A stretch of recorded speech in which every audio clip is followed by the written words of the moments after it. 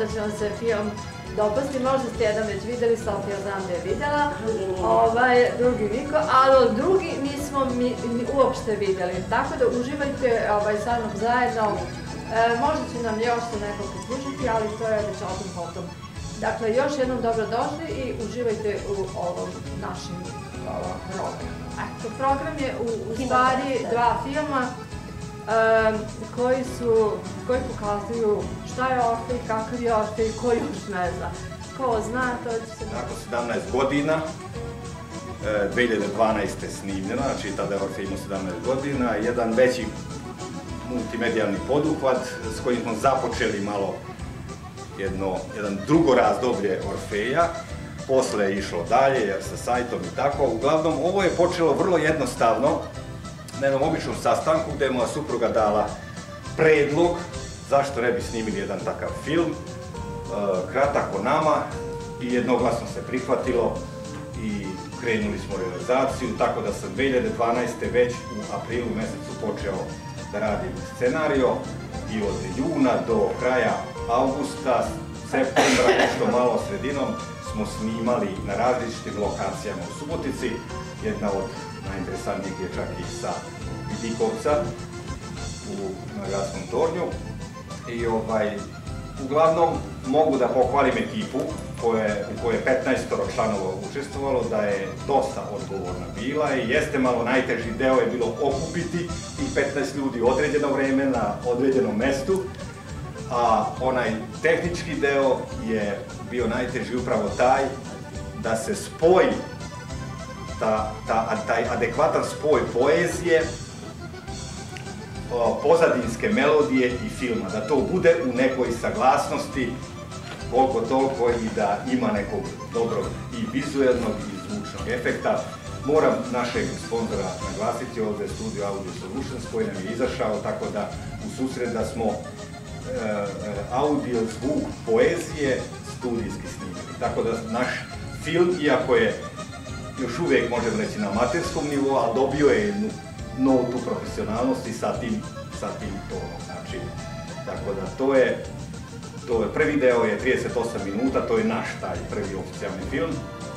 Drugi deo je 25 minuta, e taj drugi deo će biti prikazano u vidu slajdova od te 2012. posle, tog, posle realizacije filma do danas, eto kroz šta smo sve onako prošli, šta su sve bile naše aktivnosti, kluba i to je to. Ako se nekome bude ovaj prvi deo, prvi naš film svideo, njega može dobiti u redovnom DVD formatu, kod mene možete naručiti i to je to.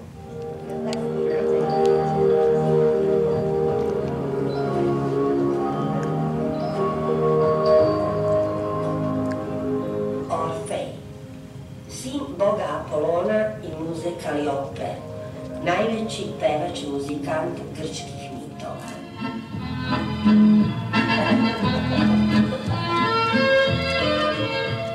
Klub pesnika Orvi Subotica je nevladino i neprofitno udruženje građana osnovano radi ostvarivanja ciljeva u oblasti kulture i književnosti. Osnovalo ga je 17 entuzijasta 22. novembra 1995. Klub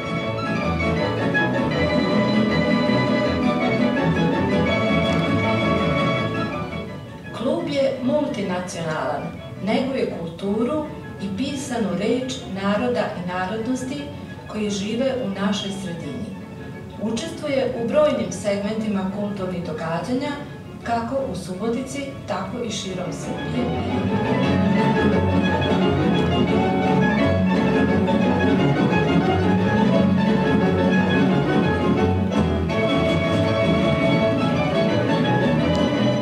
Članovi kluba aktivno učestvuju na pesničkim konkursima i festivalima gdje postižu značajne uspehe, a njihovi radovi nalaze se u brojnim zajedničkim zbornicima i antologijama u Srbiji i šire.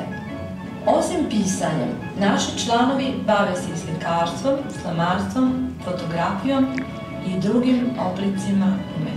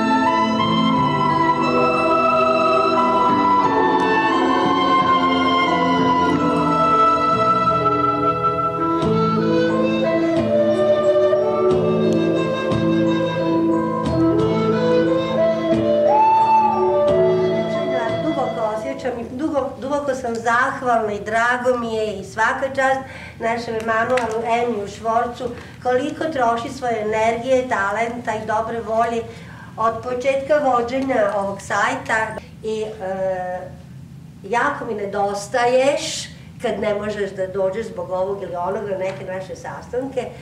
Ovo ti je mali ovaj, znak pažnje, e, ali ti bi mogla da lizneš bar papuče. Jedan tvoj mađarski volite, volite, volite. Nisam dobro bila ovaj, zadovoljna s time kako se za ovaj, stvar, a, drugi toliko puno ovog radi na ovome, da bi se napravio jedan film. Ovo drugo što je napravio, A to je onako nešto što sam ja ovaj, zamislila da se realizovala. Uopšte nije lako ovo uraditi. A sve radi za Hvala svima entuzijazma, što ste bili sa nama. ovaj, entuzijazma,